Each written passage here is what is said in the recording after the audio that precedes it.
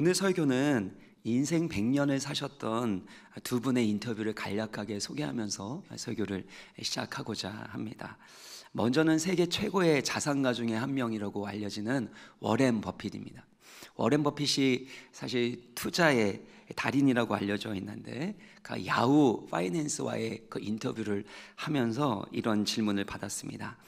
당신이 진정한 성공은 무엇이라고 정의를 내리십니까? 진정한 성공이 무엇인지에 대해서 질문을 했을 때 그가 이렇게 대답을 했습니다. 60세 또는 70세가 넘은 이후에 당신이 사랑받고 싶은 사람에게 사랑받고 있다면 당신은 성공한 사람입니다. 100세 아, 가까이 된 어, 그것도 세계에서 가장 부자라고 말할 수 있는 워렌 버핏이 말한 진정한 성공은 돈을 많이 소유하는 데 있지도 않고 또 사회적인 지위를 얻는 데도 있지 않았습니다. 아, 내가 사랑하는 사람에게 사랑받을 수 있다는 것 이것이 진정한 성공이라고 말하는 것입니다. 아, 또한 연세대 명예 교수인 김형석 교수님 계시는데요. 워렌 버핏보다 10살이 더 많은 1920년생이시고 예, 지금 100세가 넘으셨는데요. 한국에서 존경받는 어, 지성인이라고 말할 수 있는 김형석 교수님이 아, 인생에서 무엇을 남기고 갈 것인가라는 그 질문에 대해서 이렇게 대답합니다. 사랑을 나누어 주는 삶이다. 그보다 위대한 것은 없다. 인생 100년을 살아보고 나니까 인생에서 가장 가치 있고 성공적인 삶은 사랑을 나누어 주는 삶이라는 것. 그것보다 가치 있는 삶은 없다라고 고백한다라는 것입니다. 문제는 우리가 인생을 살아갈 때 사랑하는 것만큼 행복하게 만드는 것도 없지만 또 사랑하는 것만큼 힘들고 무거운 것이 없다고 느낄 때가 참 많다는 것입니다. 제가 신학 대학원을 다닐 때 어느 교수님이 설교하면서 이렇게 고백을 하시더라고요. 자신이 신학 공부를 하고 또 열심히 살아가면서 느낀 건데 인생에서 가장 힘든 것은 사랑하면서 살아가는 거다. 그렇게 고백하시더라고요.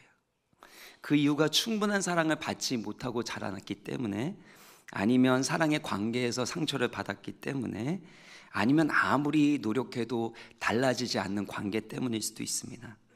근데 많은 경우에 우리가 고난과 고통을 당하게 되어지면 자기 중심적인 생각과 태도를 보이기가 참 쉽습니다.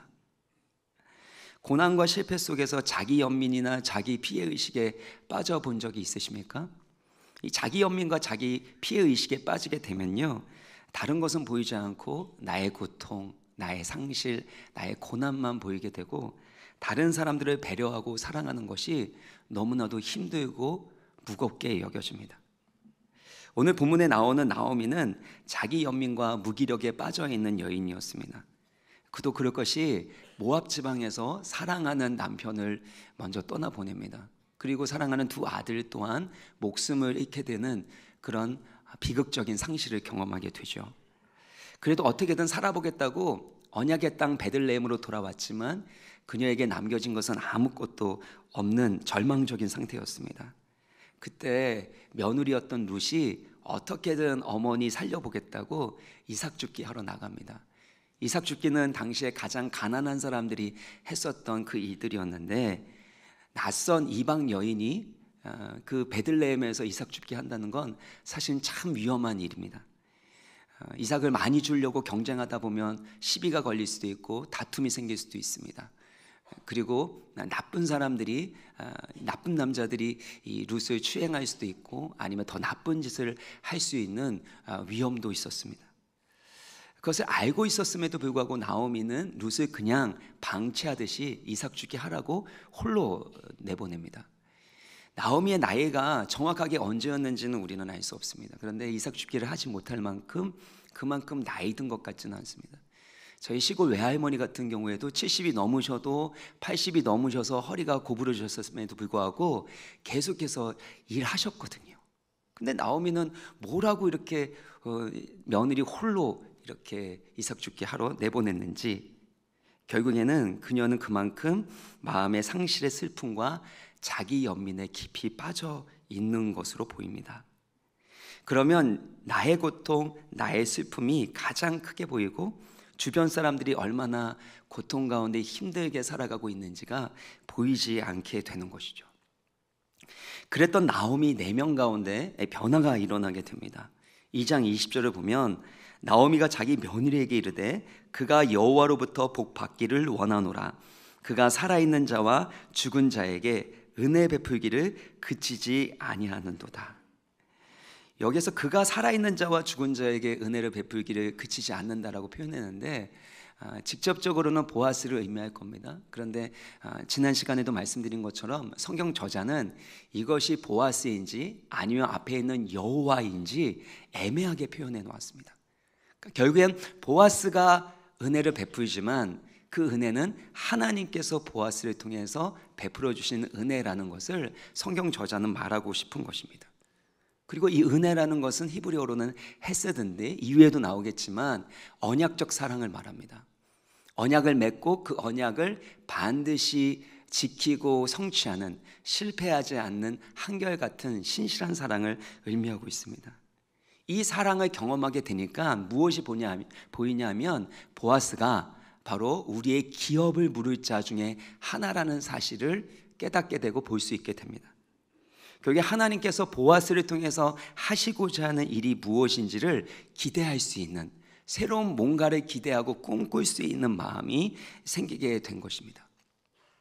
사랑하는 여러분, 예수 믿는다라는 것은 우리가 기도 응답을 받게 되고 또 그래서 우리의 상황 가운데서 뭔가가 변화되고 달라지는 것을 경험하는 것이 있습니다. 그렇지만 그 전에 먼저 그 상황이 달라지기 전에 기도 응답을 받기 전에 먼저 우리의 내면 가운데서 달라지는 것이 있는데 그것은 우리의 시선, 우리의 관점이 달라지게 되는 것입니다. 나의 상황과 문제를 바라보면서 원망하고 불평하면서 그 과거 가운데 머물러 사는 것이 아니라 이제는 하나님께서 새롭게 일하실 것에 대한 기대와 소망을 가질 수 있는 믿음의 눈이 열리는 것이 기독교 신앙이라는 것입니다. 엘리사가 엘리사 시대에 아람 군대 또 병거가 엘리사를 이렇게 가득 에워싸는 그런 일을 당하게 됩니다. 그때 엘리사의 사환이 너무나도 두려워 떨고 두려워 떨고 있었는데 그때 엘리사가 그에게 말합니다. 두려워하지 말라. 우리와 함께한 자가 그들과 함께한 자보다 많으니라. 그러면서 뭐라고 기도하냐면요. 열왕기하 6장 17절을 보면 기도하여 이르되 여호와여 원하건대 그의 눈을 열어서 보게 하옵소서 하니 여호와께서 그의 청년의 그 청년의 눈을 열어 주십니다. 그러니까 무엇을 볼 수 있게 됐냐면 불말과 불병거가 바로 산에 가득하여 엘리사를 둘러싸고 보호하고 있는 것을 볼 수 있게 되었다는 겁니다. 사랑하는 여러분, 우리가 예배에서 사실 은혜 받는다라는 건 우리의 마음 가운데 단순한 감동으로 끝나는 것이 아니라 우리의 관점이 달라지는 겁니다. 고통스럽고 아무런 현실 가운데서도 하나님이 보여주시는 미래의 희망을 보는 것이고 하나님의 일하심을 볼 수 있는 믿음의 시선이 생기는 것입니다. 우리 예배 때마다 하나님의 일하심, 하나님의 은혜의 손길을 볼 수 있는 믿음의 눈이 열리시기를 주의 이름으로 축원합니다. 아, 나오미의 이 마음 가운데 변화가 일어나면서 이 믿음의 눈으로 바라보면서 한 가지 중요한 계획을 세우는데 그게 바로 룻기 3장 1절에 있는 내용입니다. 룻의 시어머니 나오미가 그에게 이르되 내 딸아 내가 너를 위하여 안식할 곳을 구하여 너를 복되게 하여야 하지 않겠느냐. 여기서 안식이라는 이 단어가요 히브리어로 사실 그이 어, 룻기 1장 9절에 있는 위로와 같은 단어입니다. 그러니까 각기 남편의 집에서 위로를 받기를 원한다. 안식하기를 원한다. 이 말을 한 것은 결국엔 룻이 결혼할 수 있도록 결혼 대상자를 주선해 주고 있는 것입니다. 어떤 사람들은 나오미가 룻이 결혼하게 되면 그것을 통해서 얻을 수 있는 유익 때문에 그래서 아, 결혼을 시키려고 하는 것이다. 이기적인 동기를 가지고 보아스와의 결혼을 추진했을 것이다. 그렇게 말하기도 합니다. 그런데 오늘 본문 2절을 보면은요. 내가 함께하던 하녀들을 둔 보아스는 우리의 친족이 아니냐. 기업 무르자라는 표현을 이전에는 했지만 지금 여기에서는 친족이라고 표현하고 있습니다. 이 친족이라는 그 표현을 한 이유는 사실 기업을 무르기 위해서는 아이도 낳아야 되는 건데 룻이 이전까지 아이를 낳지 못한 불임의 상태였기 때문에 앞으로도 아이를 낳을 가능성이 있다고 보장할 수는 없는 것이죠. 그래서 그냥 친족과 결혼해서 아름다운 가정을 이루는 것에 나오미는 초점을 맞추고 있다라고 해석하는 것입니다. 그런 면에서 많은 신학자들은 나오미가 이기적인 목적으로 룻을 이용했기보다는 이제는 룻을 딸처럼 귀하게 여기고 배려하고 그래서 결혼해서 그 집에서 안식과 위로를 얻기를 원하는 그런 마음으로 했을 것이라고 해석을 합니다. 저도 그렇게 동의, 이 해석에 대해서 동의를 하게 되는데요. 사랑하는 여러분, 우리가 성숙해진다라는 것, 하나님의 은혜를 경험하게 된다라는 것은 결국에는 우리 자신에게 맞춰진 집중되어져 있던 시선이 밖으로 향하게 되는 타인으로 향하게 되는 것을 의미합니다. 제가 참 좋아하는 신학 교수 중에 한 분이 제레드 시처라는 교수인데요. 가족 전체가 인디언 선교를 하고 돌아오는 길이었습니다. 미니밴을 운전하고 가고 있었는데 갑자기 저쪽에서 맞은편에서 트럭 운전사가 운전하다가 중앙선이 침범해서 아, 제레드 시처가 운전하고 있었던 이 차를 들이받았습니다. 그 사고로 인해서 아, 사랑하는 아내가 생명을 잃었고 사랑하는 어머니가 목숨을 잃었고 또네살된 딸이 세상을 떠나게 되었습니다. 아, 남은 것은 자신의 삶 그리고 새 아이가 남겨진 것입니다. 너무나도 큰 상실의 고통과 슬픔 때문에 2년 동안 사실 아무것도 하지 못했다고 합니다. 왜 나에게 이런 고난, 왜 나에게 이런 고통이 찾아왔는가? 왜 나에게? 그러면서 우울함과 무력함 가운데 하루하루를 보내게 됐습니다. 그때 하나님의 사랑이 조금씩 조금씩 하나님의 은혜가 조금씩 조금씩 이 제르스 시처에게 흘러 들어오기 시작했습니다. 그러면서 어느 날 문득 이런 생각이 들었다고 합니다. 왜 나에게 이런 고난과 고통이 일어났나? 이 질문이 아니라 왜 특별히 나에게만 이런 고통이 일어나지 않아야 한다고 생각하는가? 왜 나에게만 특별히 이런 힘들고 어려운 일이 일어나지 않아야 된다고 생각하는가? 이 생각을 하면서 주변을 살펴보니까 자신보다도 더 힘들고 고통스럽게 살아가는 사람들이 보이기 시작했다는 겁니다. 자신을 사랑하는 사람을 이 가족들을 잃어버려서 너무나도 고통스럽고 슬프지만 사랑하는 가족이 옆에 있기 때문에 나 못지않게 아니 나보다 더 고통스럽게 힘들게 살아가고 있는 사람들의 고통과 눈물이 보이기 시작한 것입니다. 뿐만 아니라 아, 자기 이렇게 슬퍼하고 우울한 가운데 살아가고 있는데 자신의 돌봄이 필요한 자녀들이 얼마나 힘들고 외로운 가운데 지내고 있는지도 깨닫게 되었습니다. 그러면서 이제는 내가 해야 할 일이 있구나. 내가 이 슬픔과 과거의 고통 가운데 갇혀 있지 말고 내가 사랑하는 사람을 위하여 해야 할 일을 해야 되겠다라고 결심하고 그 일을 행하기 시작합니다. 그때 하나님의 놀라운 어, 회복의 은혜를 경험하게 되었는데요. 하나님의 은혜와 사랑이 우리 가운데 흘러 들어오게 되어질 때 먼저 일어나는 변화가 있다면 우리의 관점, 우리의 시선이 달라지게 된다는 것입니다. 내가 원하는 것에 초점을 맞췄던 시선이 이제는 이 고난 가운데 고통 가운데서 하나님이 하시고자 한 일이 무엇인지를 볼 수 있는 시각이 열리게 됩니다. 나의 고통과 나의 고난에만 초점을 맞췄던 그 시선이 이제는 타인을 사랑의 눈으로 바라볼 수 있는 시선으로 바라보게 되는 것입니다. 그 전까지만 해도 내가 제일 불쌍하게 보였는데 이제는 그 상대방 사랑하는 배우자와 자녀들 가운데 있는 그 고통과 아픔이 보이게 되고 그들을 불쌍히 여기고 국률이 여길 수 있는 마음이 생기는 것 이것이 은혜라는 것입니다. 사랑하는 여러분, 언제부터 회복의 역사가 일어날까요? 내 자신을 바라보면서 나의 비천함과 나의 고통에만 집중하는 것이 아니라 하나님이 주시는 관점과 국률의 마음으로 상대방을 국률이 여길 수 있는 하나님 아버지의 마음이 부어지게 될 때 그때부터 놀라운 회복의 역사가 일어나는 줄 믿으시길 바랍니다. 이런 내면의 변화가 나오미 가운데 일어났을 때 나오미는 룻의 결혼을 위하여 구체적인 계획과 아, 전략을 세웁니다. 이 3절 4절을 보면요. 그런즉 너는 목욕하고 기름을 바르고 의복을 입고 타작 마당에 내려가서 그 사람이 먹고 마시기를 다하기까지 그에게 보이지 말고 또 그가 누울 때에는 그가 눕는 곳을 알았다가 들어가서 그의 발치 이불을 들고 거기에 누워라.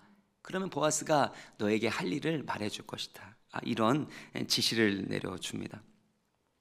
한마디로 말하면 루세게 보아스에게 찾아가서 청혼하라고 아, 그렇게 지시하고 있는 것입니다. 이것은 당시 혼인 풍습을 반영한 것으로 보이지만 아무리 생각해도 저는 미인계로 보입니다. 젊은 이 여인한테 과부한테 늙은 남자 보아스에게 가가지고 거기에 발치에 딱 누워서 그것도 목욕도 하고 예쁜 옷도 입고 향기로운 그 기름을 바라서 향수를 뿌려대면서 그렇게 누워 있으면 그러면 안 넘어갈 남자가 있겠느냐? 저는 왜 이렇게 드는지 모르겠습니다. 어쩌면 세상 소설이나 영화 스토리와 다름없는 것으로 어, 보이지 않습니까? 아, 당시에 타작 마당에서 음란하고 악한 이들이 자주 벌어지곤 했습니다. 호세아서 9장 1절을 보면 타작 마당에서 음행의 값을 좋아하였느니라. 이스라엘 백성들이 행했던 악한 일들 중에 하나가 이 타작 마당에서 음행을 행했다는 겁니다.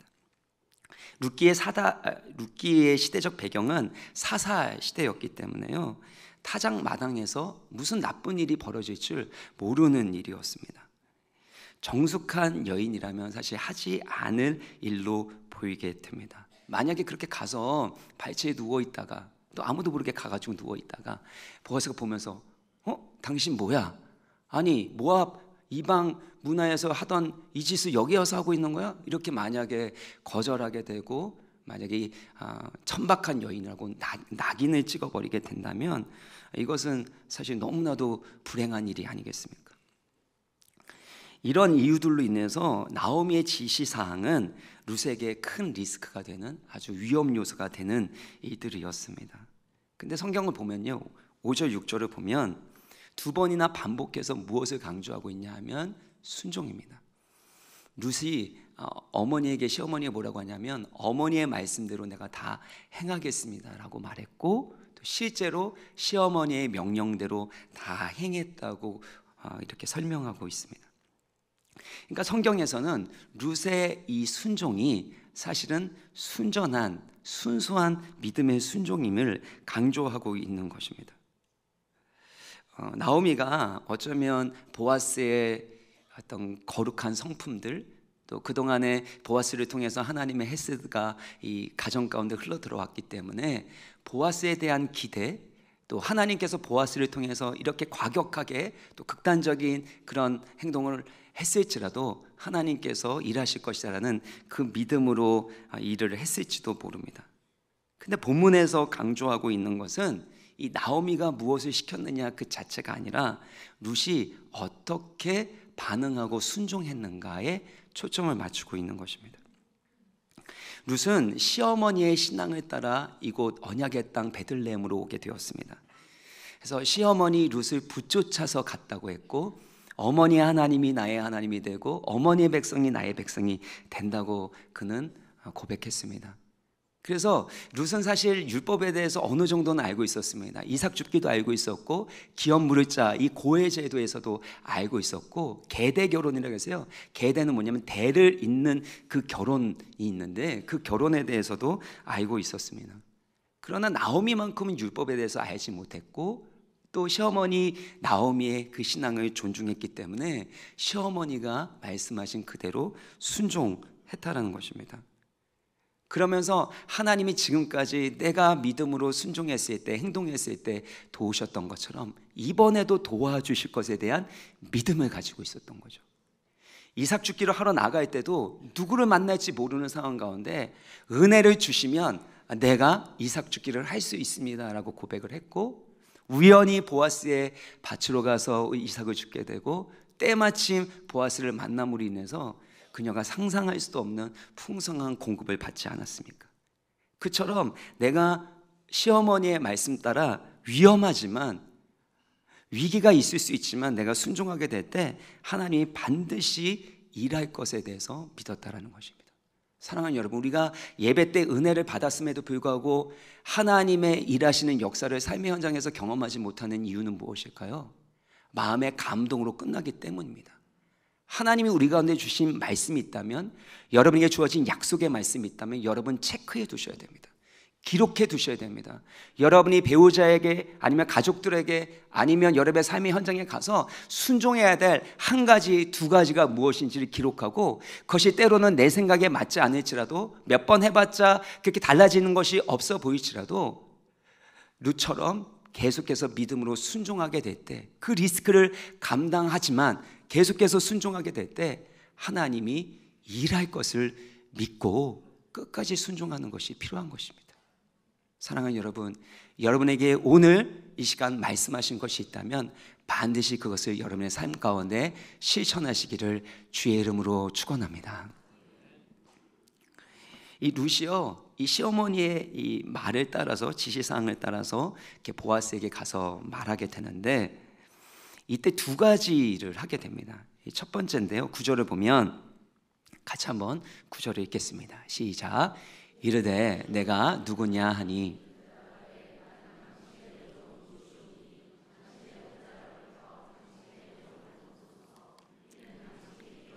자가 되미니이다. 아, 여기에서 룻이 보아스에게 당신의 옷자락을 펴서 당신의 여종을 덮으소서라고 표현했는데 여기 옷자락이라는 이 표현을 한 것은 결국엔 청혼하는 것을 의미하고 있습니다. 근데 이 옷자락이 히브리어로는 카나프라는 단어인데 옷자락이라는 뜻도 있지만 사실 날개라는 그런 뜻도 가지고 있습니다. 2장 12절을 보면 보아스가 룻을 만났을 때 이렇게 축복을 합니다. 여호와께서 내게 행하신 일에 보답하시기를 원하며 이스라엘의 하나님 여호와께서 그의 날개 아래에 보호를 받으러 온 내게 온전한 상 주시기를 원하노라. 어, 여호와의 날개 아래 보호 받으러 온 너에게 하나님께서 상 주시기를 원한다라고 보아스가 축복하고 있는데 이 보아스가 표현했었던 이 날개가 옷자락인 겁니다. 그러니까 룻이 뭐라고 얘기하는 거냐면 당신이 나에게 여호와의 날개 아래에서 보호를 받고, 보호를 받고 축복하지 않았습니까? 그런 여호와의 날개가 당신의 옷자락이 되기를 원합니다라고 재치 있게 지혜롭게 청혼을 하고 있는 것입니다. 우리가 하나님의 말씀대로 순종할 때도 마찬가지입니다. 단순하게 문자적으로 내가 생각이 드는 대로 순종하는 것이 아니라 하나님이 주시는 지혜를 가지고 순종해 가는 것이 무엇보다도 중요합니다. 아, 야고보서 1장에 보면은요 여러 가지 시련을 만나거든 온전히 기쁘게 여기라 이는 너의 믿음의 시련이 인내를 만들어내는 줄 압니다. 그리고 그 인내가 너희로 하여금 구비하여 조금도 부족함이 없도록 온전하게 만드신다고 합니다. 근데 이런 해석을 갖기 위해서 이렇게 살아가기 위해서는 어떻게 해야 됩니까? 믿음이 필요하지 않겠습니까? 근데 야고보서 1장에서 믿음을 구하라고 표현하지 않습니다. 야고보서 1장에서 구하라고 하는 것은 지혜입니다. 누구든지 지혜가 부족하거든 후히 주시고 꾸짖지 아니하시는 하나님께 구하라. 그리하면 주시리라. 사랑하는 여러분, 우리가 하나님의 말씀대로 살아가는 순간순간마다 하나님의 지혜를 구하시고 그 하나님의 지혜를 따라 하나님의 뜻을 행하시기를 주의 이름으로 간절히 바랍니다. 그러면서 두 번째 중요한 말을 했는데요. 이 구절의 뒷부분을 보면 이는 당신이 기업을 물을 자가 되민이다라고 합니다. 이 구절을 보시면요. 이 기업을 물을 자의 책임을 보아스에게 요청하고 있는 것입니다. 이것은 나오미가 직접적으로 말하지는 않았습니다. 이전에 힌트 차원에서 보아스가 기업 물을 자 중에 하나다라는 표현을 했지만 아, 그녀에게 너가 가서 기업을 좀 물어줘라. 우리 가문을 회복시켜 달라. 그렇게 강요하거나 요구하지 않았다라는 것입니다. 룻이 자발적으로 이 보아스에게 요청하고 있는 겁니다. 깨지고 망해버린 나오미의 가문을 되살리기 위해서 자기의 죽어버린 남편의 이 대를 잇기 위해서 보아스에게 아, 이 결혼을 요청하고 있는 것입니다. 아, 이것에 대해서 보아스는 뭐라고 설명을 하냐면요. 반응을 하냐면 10절인데요. 그가 이르되 내 딸아 여호와께서 내게 복 주시기를 원하노라 내가 가난하건 부하건 젊은 자를 따르지 아니하였으니 내가 베푼 인애가 처음보다 나중이 더하도다. 룻은 자기 입장에서는 젊은 남자와 결혼해서 자기 행복을 위하여 자기 이익을 위해서 살아갈 수 있었습니다. 그런데 그렇게 젊은 자를 아, 따라가지 아니하고 바로 보아스를 선택한 것은 바로 나오미의 가문, 죽은 남편의 가문을 회복시키기 위한 겁니다.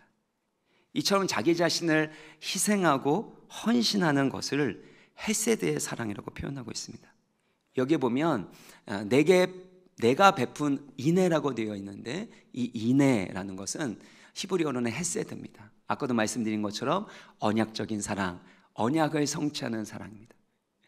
아, 그럼에도 불구하고 사랑하는 사랑이라고 말할 수 있는데 상대방이 사랑받을 만한 그런 조건을 갖추지, 못하고 그 사람이 사랑받을 만한 행동을 하지 않았음에도 불구하고 끝까지 책임지고 희생하고 사랑하는 사랑이 바로 헤세드의 사랑이었던 겁니다. 이 헤세드를 처음에는 어떻게 베풀었냐면 홀로 남은 시어머니를 내버리는 것이 아니라 끝까지 따라가서 돌보는 그 사랑이었는데 이제는 어떻게 해요? 아, 그 가문을 회복시켜 주는 하나님의 율법의 말씀대로 그 가문을 회복시키는 일에 자기 자신을 희생하는 것이 바로 헤세드의 사랑이라는 것입니다. 이 헤세드의 사랑을 실천한 루세 대해서 보아스가 뭐라고 얘기하냐면요. 11절을 보시면 내가 현숙한 여자인 줄 나의 성읍 백성이 다 아느니라. 여기서 현숙하다라는 단어와 이 보아스를 설명할 때 유력하다라는 단어가 같은 단어입니다.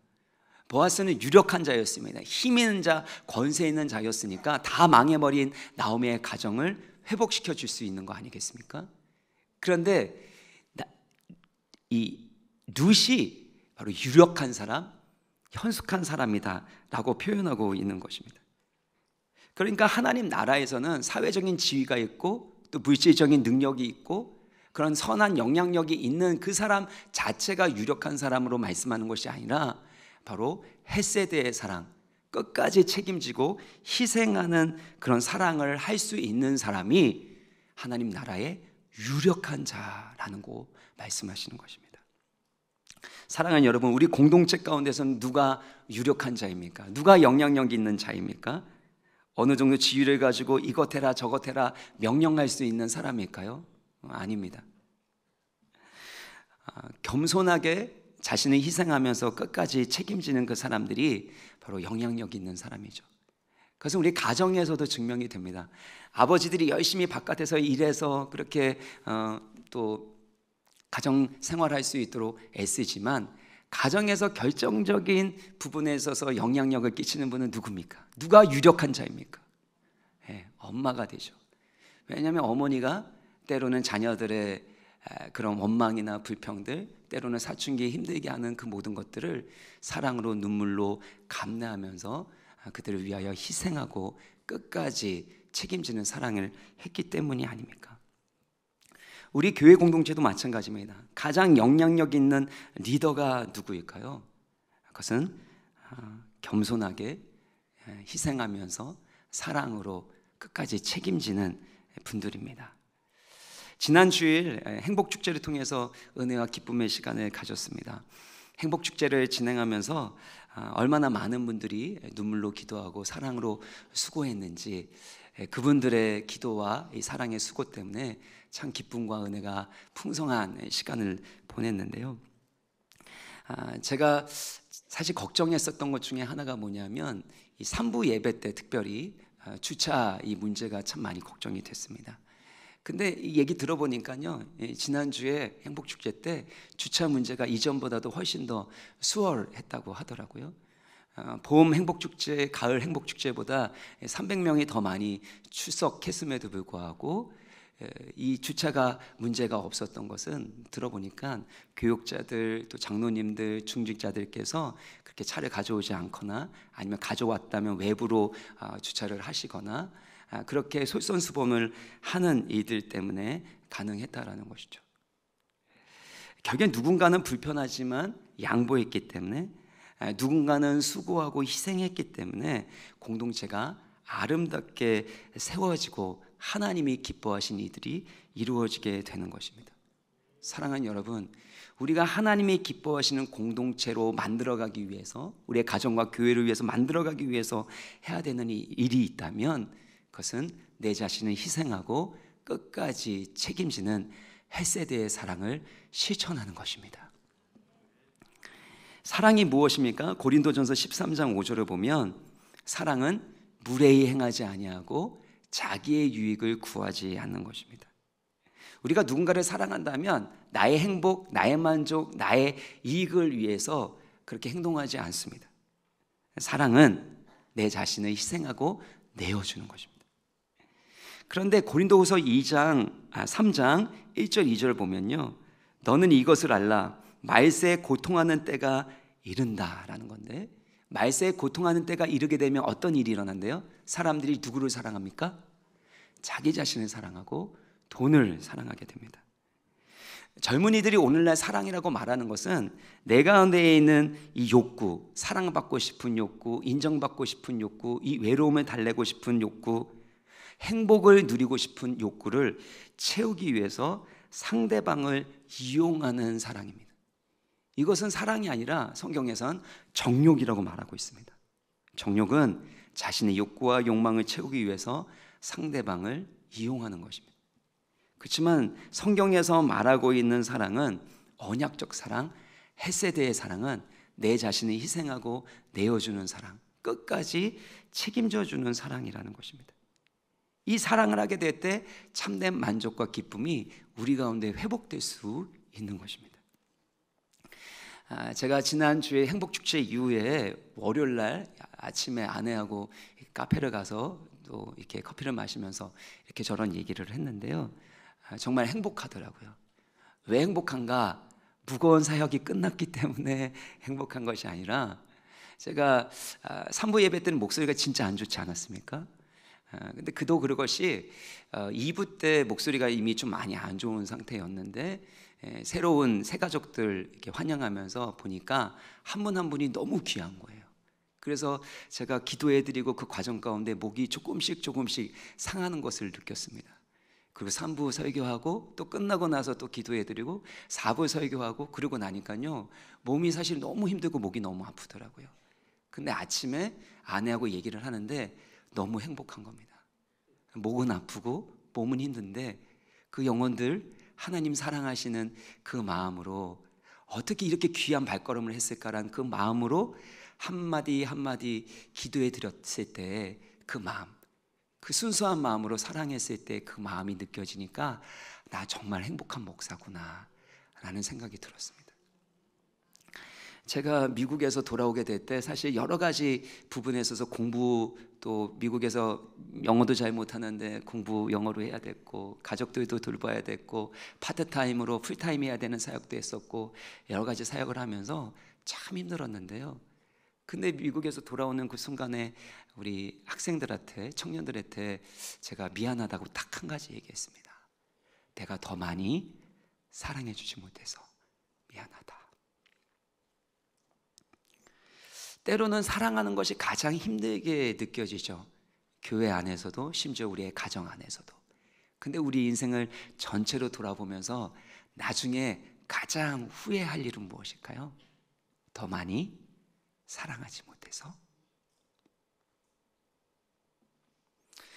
어, 어떤 분이 이 사춘기 이 자녀 때문에 너무 힘들었는데요. 이분이 어느 순간에 은혜를 받고 나서 그러고 나서 깨달았대요. 그 전까지만 해도 이 아들이 첫째 아들이 뭔가 잘못하는 것이 있을 때마다 계속해서 지적을 했대요. 너 왜 그렇게 되냐? 장남이 그렇게 하면 되냐? 근데 어느 순간에 내가 아무리 애쓰고 노력해도 안 된다라는 것을 깨닫게 되고 그리고 나 때문에 우리 아들이 더 망가지고 있는 건 아닌가라는 생각이 들면서 어떤 깨달음이 왔냐면 사랑하기만 사랑하기에도 부족한 시간이다. 사랑하기에도 부족한 시간이다. 라는 아, 그런 깨달음이 오게 됐고 그 다음부터는 사랑해주기 위해서 인정해주기 위해서 애썼다라는 것입니다. 그리고 나서 이 아들 가운데 놀라운 변화가 있게 되고 이 아들이 또 유학도 가게 되고 지금은 훌륭한 또 청년으로 신앙생활도 잘 하고 있는데요. 우리가 희생하는 사랑, 책임지는 사랑을 감당하게 되어질 때 반드시 하나님은 우리 가운데 일하십니다. 어떤 목사님이 교회 사택에 들어갈 수 있는 순서가 됐습니다. 근데 이전 사택이 좀 좁았습니다. 아, 근데 더 넓은 사택으로 갈 수 있는 기회가 됐는데 바로 옆집에 살고 있는 목, 목사님이 애를 하나를 더 낳은 겁니다. 이 목사님은 애가 둘이고 그 목사님은 애가 셋이 된 겁니다. 그러니까 본인이 들어갈 차례가 됐는데 이 애가 셋이 된 이 가정이 더 어렵지 않겠습니까? 그래서 결국에는 양보를 한 겁니다. 제가 옆에서 뭐라고 얘기했냐면은요. 굳이 그렇게까지 할 필요가 있냐? 순서가 됐는데 혼자 사러 들어가는 사람도 있는데 왜 그렇게 하냐? 라고 했는데 기도해 봐도 아닌 것 같대요.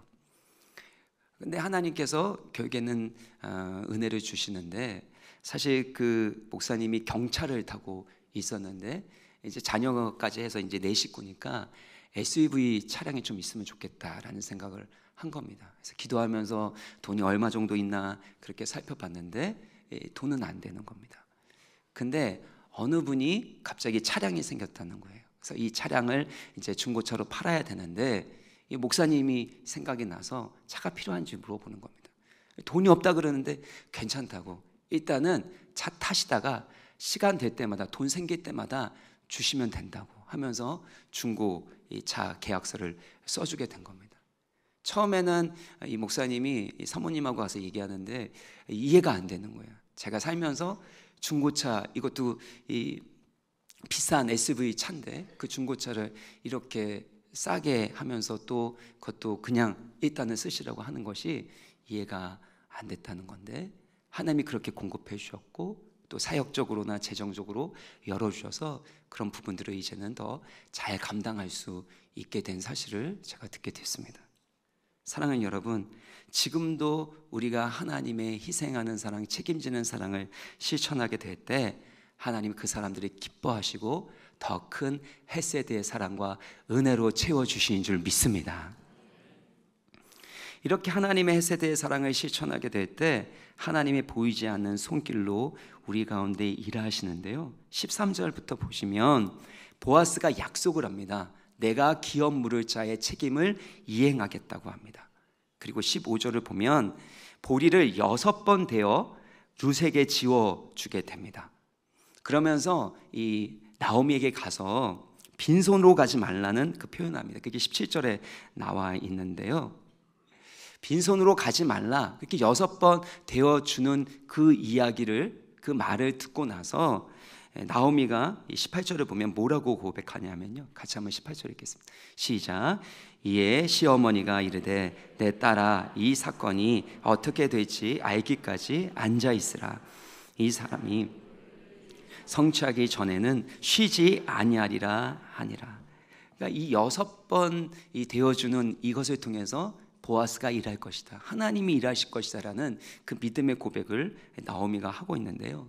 여섯 번 되어준 것은 무엇을 상징할까요? 보통 완전수는 7입니다. 하나님께서 천지 만물을 창조하신 다음에 그리고 7일째 안식하셨습니다. 그래서 7은 하나님의 숫자 완전수라고 할 수 있고 그에 반해서 6이라는 것은 인간의 숫자입니다.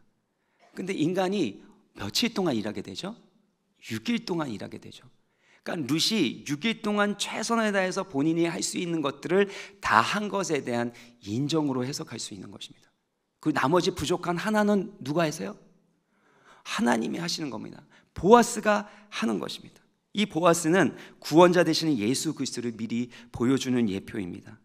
예수님은 우리의 구원을 위하여 십자가에서 모든 일을 다 이루셨습니다. 그래서 십자가에서 다 이루었다. 다 이루었다라고 선포하시지 않았습니까? 그래서 예수 그리스도를 믿는 자에게 영원한 생명을 얻게 하시고 하나님의 자녀가 되는 권세를 누리게 하시고 그 자녀로서 이 땅 가운데서 하나님의 영광과 햇새들을 흘려보내두고 나타내는 삶을 살아갈 수 있도록 지금도 일하고 계신다라는 것입니다. 빌리보서 1장 6절의 말씀을 같이 읽겠습니다. 시작.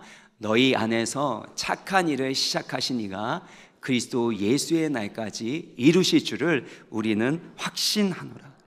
그러니까 하나님이 우리 가운데 일하고 계심을 믿는다면 이전까지 루시 이삭 죽기를 최선을 다해서 7주간 했었던 것처럼 또 이제는 나오미의 그 지시사항을 따라서 보아스와 결혼하기 위하여 기업 물을 자를 찾기 위하여 그렇게 애썼던 것처럼 우리도 끝까지 믿음으로 순종하고 최선을 다하는 겁니다. 근데 최선을 다했지만 그 결과는 누구에게 맡겨야 됩니까? 하나님께 맡기고 그 하나님이 이루실 때까지 인내하고 기다리는 것이 필요합니다. 사랑하는 여러분, 하나님이 지금도 일하고 계시는 줄 믿습니다.